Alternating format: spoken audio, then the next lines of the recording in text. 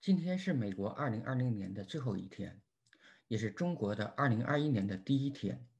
早上收到我妈妈转给我的一个新年祝福的短视频，一个时钟在2020年的十二个小时，分别是悲伤、哀愁、苦恼、烦躁、焦虑、绝望和胆怯。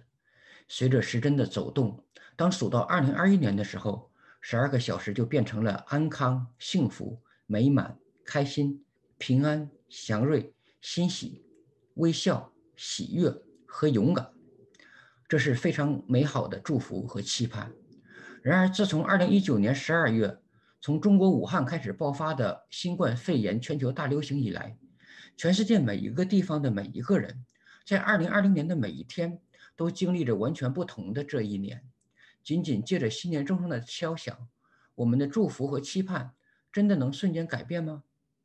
我装了一个智能灯泡，我的亚马逊 Alexa 智能助理给它取名叫“第一道光 ”（The First Light），并告诉我可以设定一个早起时的例行程序，就叫 Alexa 要有光，Alexa Let there be light。对他说了要有光之后，所有的智能灯泡都会自动点亮。我有些小吃惊，《圣经·创世纪》第一章中记载，上帝。在创造世界时，最先创造的就是光。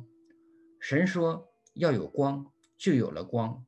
神看光是好的，就把光暗分开了。先知以赛亚在大概两千七百七十年前预言说，救主弥赛亚就是基督，将要降生拯救世人。他说，在黑暗中行走的百姓看见了大光，住在死荫之地的人有光照耀他们。于是光和暗就分开了。在两千零二十一年前，救主耶稣基督降生了，他亲自宣告说：“他就是世界的光。”耶稣又对众人说：“我是世界的光，跟从我的就不在黑暗里走，必要得着生命的光。”施洗约翰也为耶稣做见证，说：“那光是真光，照亮一切生在世上的人。”使徒约翰说：“世人皆在黑暗中行走。”他说：“光来到世间，世人因自己的行为是恶的，不爱光，倒爱黑暗，定他们的罪就是在此。凡作恶的便恨光，并不来救光，恐怕他的行为受责备。为什么会这样呢？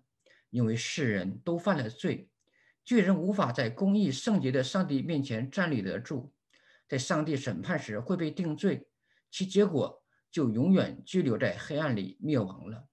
为什么每一个人都犯了罪呢？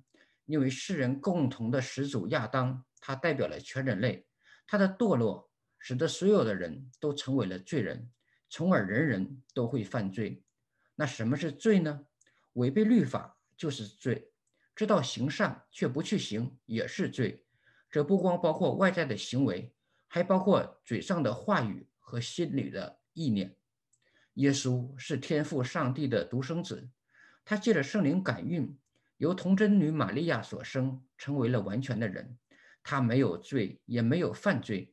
他死在十字架上，替我们赎罪，又在三天后复活，将他一生因为顺服和遵行天父旨意而获得的义归算给我们。我们在被上帝审判时。因着在耶稣基督这位真光里面，就被上帝宣告无罪而称义。我们因信称义，得以与神和好，并成为圣洁。天父上帝他还收纳我们，成为他的养子养女，成为光明之子，进入上帝的国，神的家。我们可以和耶稣基督一样，喊这位天父上帝为阿爸父。我们世上的不完全的父亲都知道拿好东西给自己的儿女。更何况这位至高完全的天父呢？他天天看过我们，赐给我们的都是好的无比的。你愿意趁着有光，信从这光，成为光明之子吗？只要悔改，信福音，信耶稣是基督，口里认耶稣为主，心里信上帝叫他从死里复活，这是上帝白白赐给我们的恩典。黑暗渐渐过去，真光已经照耀，在这真光里。那些对二零二一年的美好期盼和祝福才能真的实现。你们的光也当这样照在人前，叫他们看见你们的好行为，并将荣耀归给你们在天上的父。